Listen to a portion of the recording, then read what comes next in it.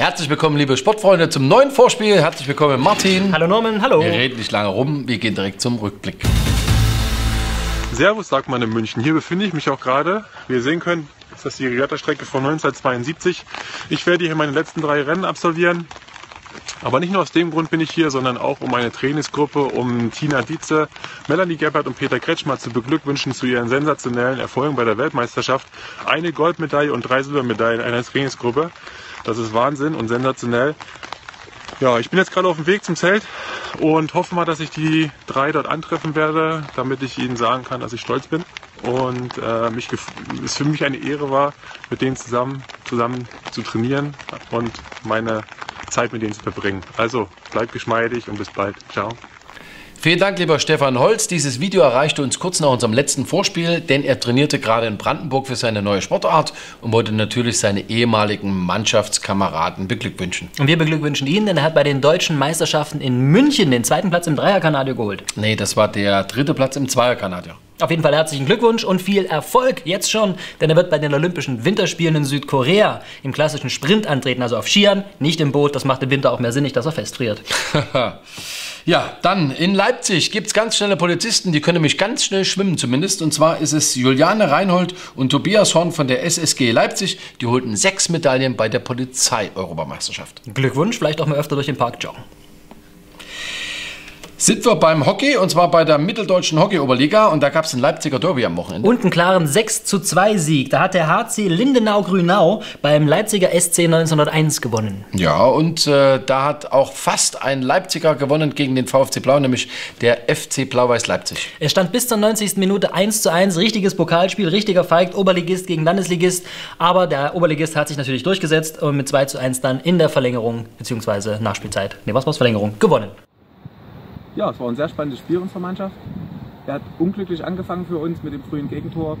Da waren, haben wir ein bisschen geschlafen noch am Anfang, hat natürlich den ganzen Plan auf den Kopf gestellt, so lange wie möglich da die Null zu halten. Aber danach hat sich zu einem super Spiel entwickelt, spielerisch, kämpferisch, hat die Mannschaft ordentlich mitgehalten. Und äh, Inter Leipzig ist ja auch Oberligist und die haben sich 6 zu 0 durchgesetzt gegen einen Landesligisten, gegen die FV Krokusblüte Drehbach. Warum heißen die so? Ähm, wenn der Schnee wegtaut, dann werden bei denen immer die äh, Wiesen ganz lila, wie Krokusse. Aha, und die Falken am Bach. Weil wir beim 6 zu 0 sind, da haben die RB Leipzig-Frauen auch eine Erfahrung mit. Ja, keine schöne Erfahrung. Die haben nämlich 6 zu 0 verloren. Ihr Auftaktspiel in der dritten Liga gegen den zweimaligen Vizemeister und ehemaligen Zweitligisten Magdeburger FFC. Richtig auf die Mütze bekommen, 6 zu 0 verloren. Aber es war das erste Spiel. Saison ist lang. Ja. Rugby Leipzig hat übrigens auch auf die Mütze bekommen. 5 zu 35. Richtig deutlich, richtig deutlich. Mhm. Aber dafür hat es die zweite Mannschaft besser gemacht. Mit 7 zu 19 in der ersten Halbzeit haben sie noch ein 22 zu 19 geholt. Klasse, und das in der Regionalliga. Und wir haben jetzt mal Vater und Sohn, wobei der Sohn die entscheidenden Punkte setzte. Also Joshua Portier und der Vater Julian sehen wir jetzt. Schön, was ihr macht. Weiter so. Meine Zusammenfassung von unserem Spiel heute. Wir haben das schwer gemacht in der ersten Halbzeit. Aber dann, zweite Halbzeit, ganz spannend für unser Publikum. Und zum Schluss, jemand hat einen Versuch gelegt. Das ist mein Vater. Ich hatte heute mein erstes Regionalligaspiel, da ich im Juni erst 16 geworden bin und habe auch noch meinen ersten Versuch heute gelegt. In den letzten Minuten, den letzten Versuch, die letzten Punkte, die wir gebraucht haben. Vom Ei kommen wir jetzt mal zum kleinen Ball und da haben die HC Leipzig Frauen im DHB-Pokal gespielt. Dieses Jahr treten sie an der dritten Liga an und haben sogar gewonnen. Mit 29 zu 25. Eine ja. ganz junge Truppe, Durchschnittsalter 16,9 Jahre, dürfen dieses Jahr also noch nicht wählen, aber haben auch andere Sorgen, glaube ich. Aber den sie Burgenland geschlagen. Prima. Die Piranhas aus Markranstädt, vom SC Markranstädt, haben übrigens auch die nächste Runde erreicht. 27 zu 18 gewonnen gegen die HSG Plesse Hardenberg und sind damit eine Runde weiter, wie du schon sagst, im DHB-Pokal. Gibt es bestimmt bald ein Derby, weil die beiden dritte Liga spielen. Gucken wir mal zum Seitenblick. Es gab noch ein 6 zu 0 und zwar war Timo Werner von RB Leipzig mitbeteiligt. Er Hat zwei Tore geschossen bei Deutschland gegen Norwegen. In Stuttgart wurde er gefeiert, ausgepfiffen zuvor in Prag, aber dieses Thema wollen wir gar nicht aufgreifen, das nervt einfach nur noch. Auf jeden Fall. Dann haben wir ja, 400 Zuschauer haben wir gehabt und zwar bei Lok Leipzig gegen die SG LVB. Das Benefizspiel für den abgebrannten Sozialtrakt der SG LVB. Lok Leipzig hat da äh, eingeladen, 400 Zuschauer sind gefolgt und wir waren auch da und haben mal mit Anwesenden gesprochen. Hallo, äh, wir von der FOB sind sehr stolz, dass es mit Lok geklappt hat und äh, freuen uns über die Gastfreundlichkeit und sehr schön, wenn sowas halt zustande kommt. Danke an Lok Leipzig. Ja, also war ein cooler Fußballabend heute. So super Sache, dass Lok sich für die Mannschaft einsetzt als Leipzig. Und haben ein paar schöne Tore gesehen. Der Gegner hat ein Tor gemacht. Also rundum eine gelungene Sache. Es sind auch sehr viele Leute da. Top Angelegenheit.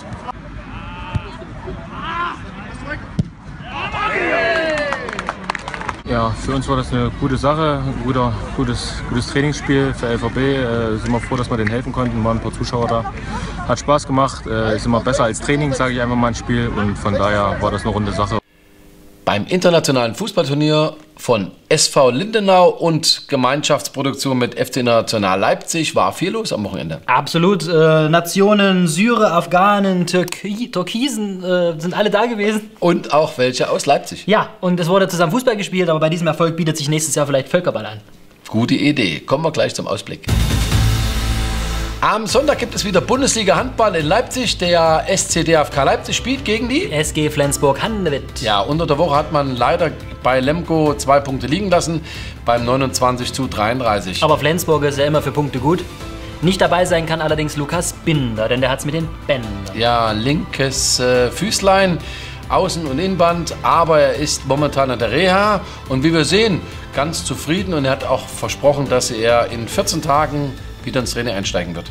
Heute Abend, oder wenn Sie uns morgen sehen, gestern, spielt RB Leipzig beim Hamburger SV. Das Spiel wird beim Eurosport Livestream gezeigt und den finden Sie überwiegend in den Kneipen Leipzigs.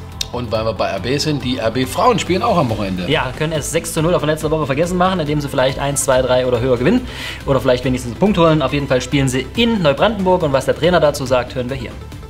Also ich habe schon unter der Woche in den Trainingseinheiten gespürt, dass die Mannschaft heiß drauf ist, Wiedergutmachung zu betreiben. Ähm, sie hat hervorragend trainiert und ich gehe davon aus, dass wir am Sonntag gegen Neubrandenburg ein ganz anderes Gesicht zeigen werden. Ähm, es wird ein schweres Spiel gegen einen wiederum starken Gegner, aber äh, ich hoffe, dass wir mit drei Punkten zurück nach Leipzig kommen. Bleiben wir beim Fußball. Beim Regionalen. Ja, und gucken uns gleich mal die Grafik an. Da sind viele Spiele aufgeführt, aber ich denke, wir sollten mal erwähnen, dass Lok Leipzig am Samstag um 13.30 Uhr gegen FC Viktoria Berlin spielt. Und Sonntag 13.30 Uhr äh, empfängt der VfB Auerbach die BSG Chemie. Möglichkeit für Chemie vielleicht auswärts zu punkten. Hoffen wir es mal. Am Sonntag spielt ebenfalls der FC Eilenburg gegen den VfC Plauen. Und am Samstag 15 Uhr ist das absolute Spitzenspiel der Landesliga. Da empfängt der FC Grimma die BSG Stahl Riesa. Ah, da ist immer viel los. Viele Zuschauer. Ich bin gespannt. Und am Sonntag, da trifft um 15 Uhr die SG Rotation Leipzig, der Aufsteiger, gegen äh, oder auf die SG Taucher 99 in der Landesklasse. Quasi sowas wie ein Derby. Kann man sagen. Mhm. Der Rugby Club Leipzig will natürlich seine Schlappe jetzt vom Wochenende wieder gut machen gegen die SC Germania List am 16.09. um 15 Uhr. Wir drücken die Daumen und kommen noch kurz zum Handball, denn die Pokalspiele sind terminiert und ausgelost. Die äh, SCDFK spielt zum Beispiel in Melsungen. Ja, die Männer und die Frauen vom Drittligisten SC Markranstädt müssen gegen den Titelverteidiger Buxtehuder SV ran. Uh, uh, wird hart. Der HCL muss zum Bundesligisten VfL Oldenburg. Da gibt es zwar noch ein paar Probleme mit der Halle. Woran liegt's? Das wäre jetzt zu kompliziert. Okay, also wir müssen auf jeden Fall äh, nach Oldenburg. Muss gehen. Muss gehen. In dem Sinne, viel Erfolg. Und bleibt sportlich.